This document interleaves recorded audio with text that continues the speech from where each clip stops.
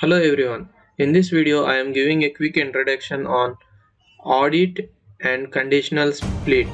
How these features will be implemented in SSIS packages. We are now going to use an audit feature on OLEDB source. This let's con configure OLEDB source. Double click on OLEDB source and the source uh, which I am using is AdventureWorks so I am selected a table from AdventureWorks DB that is a sales product table. Okay, now I am going uh, going to do some operation like sorting the data. In real time, these operations might differ. Okay, sort based on the name ascending and click OK. So once this operation is happened, I want to check when this operation is uh, done so i am going to use this audit tool. So now whatever the data come from the OLEDB source and then after the operations and it will the data will further proceeds to the audit tool. So the audit tool now if you see here these all are empty. But if you click here these many features are there in an audit tool. That means you can able to track the execution instance GUID package ID and uh, package name version ID and you can track the machine name username and the task name. Suppose uh, the same etl job has been done by different different people in different different times. Even we can able to track by using this audit feature audit transform feature. Okay now in this uh, in my scenario i am going to track the execution time package id and the task name.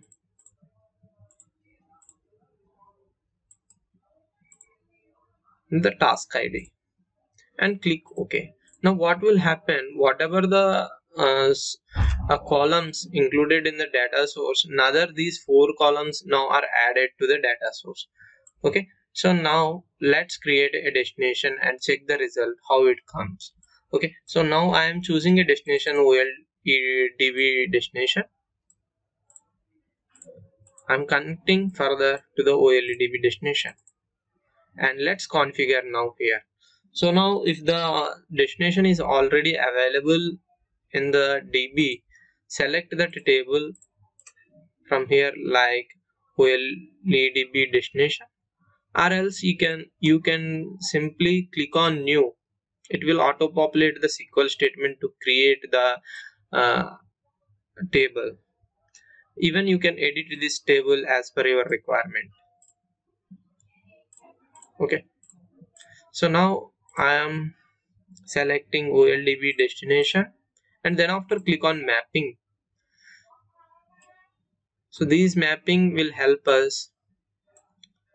So here there is no uh, version id is there in destination but in my source it is package id so now what i am doing is uh, configuring this package id to the version id okay. So now click ok. So this is how we map all those things and connection is okay mapping is okay and error outputs. There are different different error outputs will there if there is a failure is happened uh, we can go by ignore failure. One is there and redirected to the true. So in this scenario now i am let it be fail fail component and click apply and click ok.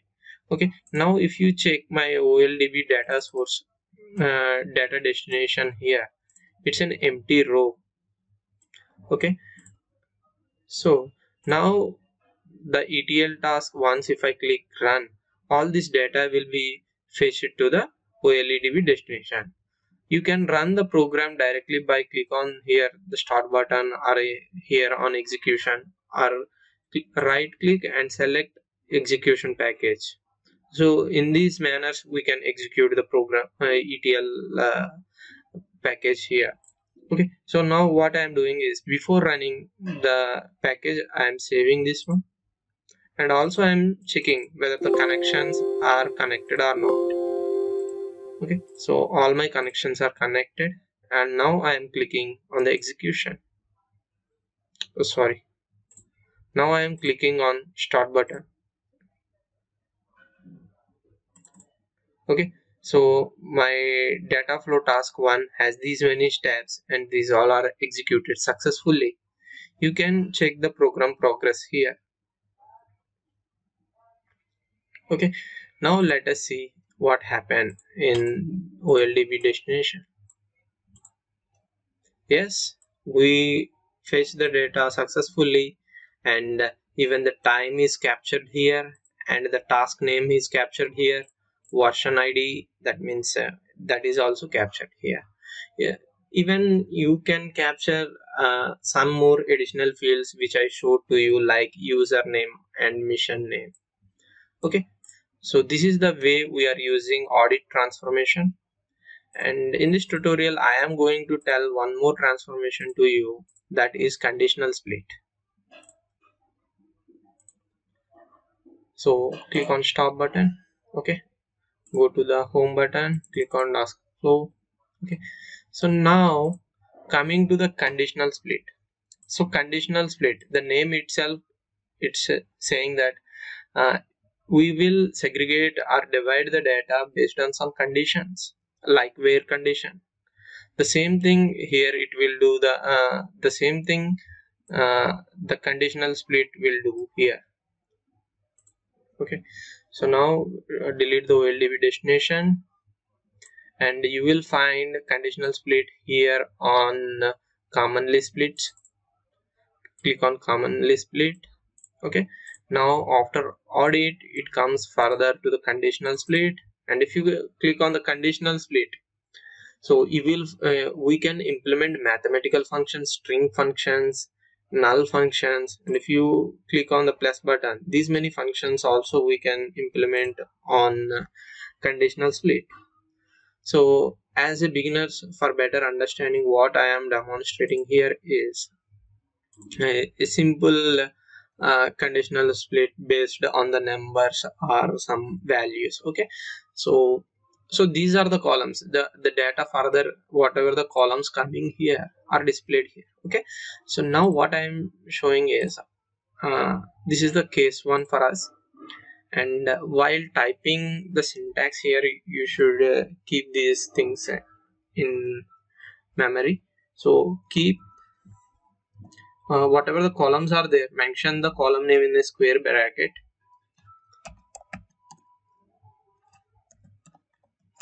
okay list price. So this is my case one. So the data that means uh, from the db the price uh, the list price is greater than 500 bucks. Those data will be populated in my destination. So this is my case one. And now comes to the case two. So the case 2 is uh, let's take on the color okay so now.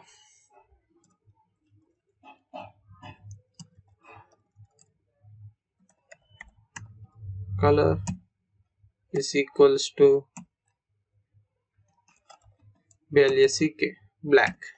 Okay so now see here. The case 1 is highlight not highlighted but the case 2 is highlighted in red color. Why? Because here the color C should be capital here okay now check. Even it is showing an error. So now uh, here uh, equal to means we need to assign with double equal to. Okay? So this is the uh, exact way. And then after uh, not single quotations double quotations. All these things we need to keep in memory. Otherwise what will happen is uh, the, we, we, will get some errors while at the time of execution. And configuring the error output is one of the main thing here. We need to here sometimes if any error come just ignore those errors. Or you can redirect those rows. Okay? And click ok. And uh, now see here it is already showing something here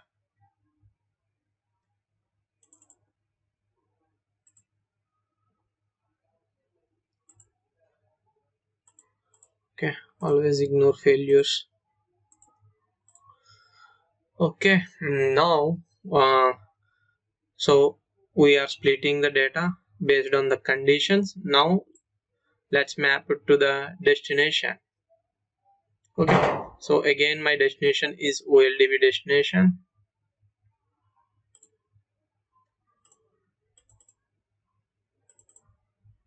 okay so this is my OLEDB destination. I'm dragging this one here. So now if you click and connect to here it get connected and it is see here which output you want to fetch to this one. So now i am selecting case 1 case 1 is like based on the numbers right? Okay so whatever the results come from the case 1 those results are uh, result will be populated at OLEDB destination here. And now further click here. And now comes to the mapping. Before mapping we need to select the table. So already I have created these tables. If you don't created this if you don't created those tables so what you need to do? You need to click on new. Automatically the query gets generated. And if you click ok automatically it get added to your db okay so now i'm selecting this table like OLEDB destination num1 okay? So in this one i'm checking whether all these fields are mapped properly or not. All these are mapped perfectly. Okay? Okay? Now click ok. And I have another output. For that output I require another OLEDB destination. See if I click here on conditional split automatically another two arrows is coming here. You all know that the red arrow represents the error or the rest of the data will come from uh, the red arrow. So as we have two cases now these gray lines are coming that case 1 is come, coming for 1 another one is come for case 2 now I connected here. Now if you check here see here case 2 I selected the case 2 click OK. And now let's con configure this one. And if you click here I have OLEDB destination names 1234 and click on mapping and check whether all are mapped properly or not. Okay. Now let's check what's the data here on OLEDB destination 1 names 1 and names 1 2 3 4 so here in destination already I have some data. So now what I am doing is I'm just deleting this data. Otherwise we can also keep this data. So it will get inserted uh, some more duplicate rows in the same uh, table. So so to avoid that what i'm doing is uh, to deleting the data okay so delete from OLEDB destination num 1 clicking here. 178 rows get affected. Then after deleting click on destination num 1 and executing the same thing. Okay 136 rows are deleted. Now change this statement to select star from. Okay so now our project get ready let's click on so click on save check the connections are connected or not. Let's run the package. So at the condition split we get an error. So what's this error? Zero rows zero rows. Okay let's stop this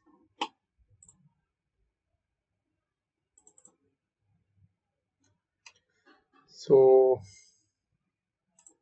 for debugging purpose as of now what i am doing is i am deleting the case 2 okay? So how to delete the case 2 you can delete the case 2 like this. Okay? Click ok. Deleting this. And now again save this project. Click run. Okay so for one condition it executes perfectly all right. Okay. So list of price. So we will we get some error regarding uh, uh, regarding the string operations might be. Okay. So now for string operations let us see whether the data is populated or not there first. Okay. So this operation 136 rows are populated here. And you can check here even uh, what what's the time now? You can check here the same time and the task name. Everything has been captured here